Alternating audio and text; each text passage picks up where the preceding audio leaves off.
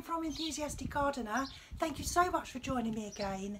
Um, you may remember a few weeks ago I took out three boxwood plants from here, moved them over to the new area which is over by the fountain and said that something exciting was going to happen here. Well, as you can see, we have had some trellis put up which is uh, the same as the trellis over by the fountain if you saw that video. We had three extra pieces, so two have gone here and one just round the corner where I planted a clematis a couple of weeks ago.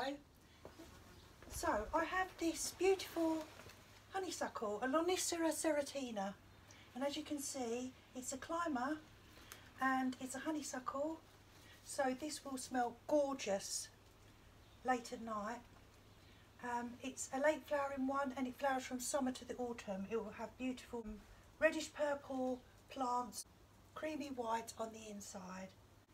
It does grow up to 20 foot it says here. So obviously we've got the space for it and I thought what we could do if it gets too high then we can get some wires, get some little screws right up the top train some wires and it can carry on doing that and then of course it will be pruned in the um, spring to get it back down again. If you don't prune things what you'll find is after a while you'll have a, a bare bottom half of the plant and the flowers will just be up the top so it's a good idea to prune things. This area um, is in the shade most of the time to be honest. It gets um, sunlight for maybe one hour or one and a half hours, depending on the time of year, of course. But, having said that, further up the wall we'll get some. I've already put nice soil in. Just planting it straight in the middle. Got my slow release fertiliser here. So I'm always going to put that in anything new that I plant. Put some of that in. Sprinkle a bit and I'll sprinkle a bit on the soil either side that I'm going to push back in. Now I'm looking for a back and a front. We have got this one here, seems to want to go this way, but we will be tying it all up. Um, I don't know that it matters. I think it will sort itself out quite quickly. So put that in. Just plant that in there. Nice and firmly. Think that will be very happy here.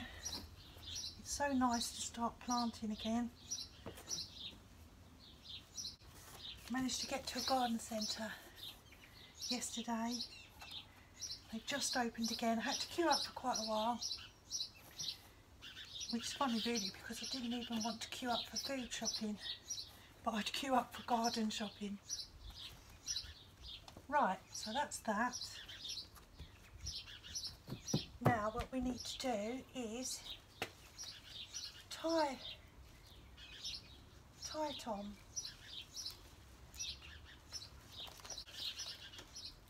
I'm going to keep the tag so that I know what to do, when to prune it, etc. Keep that and let's see now. Try and unravel it a little bit. I mean you can, you could just keep it all in its bunch and then just uh, um, spray it out after that. Well, some bits look dead and then if you look further up you realise no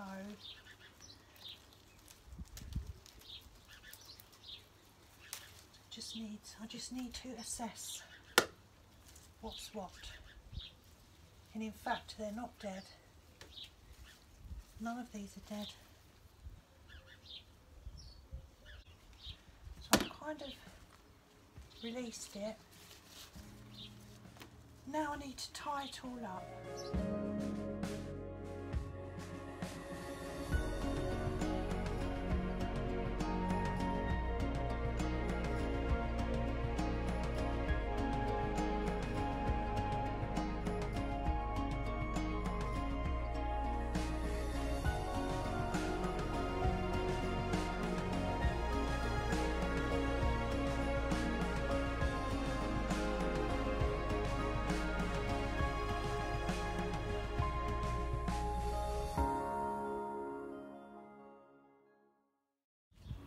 And here it is all finished.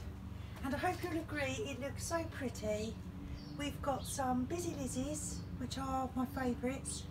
We have some trailing petunia, and these will have beautiful purple flowers. I've had these before, and they're really, really pretty. And as you can see the contrast in the colour as well, which I think goes really nice. The sun is just beginning to come over and this area has a very small section of sun.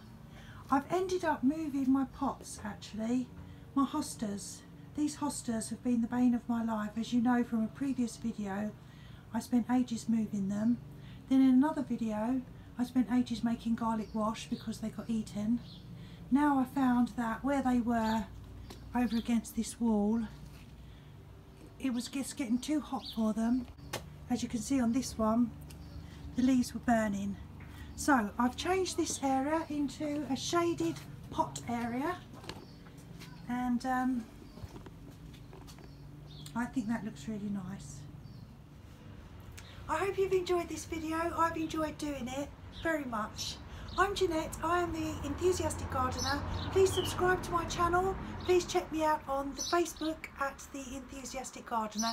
Thank you so much for all your support. It's been so much fun and there's lots more exciting things to come. May is my favourite month of the year and I hope now that the garden centres are open you can all get out and get some plants and get planting. Thanks for watching. Bye.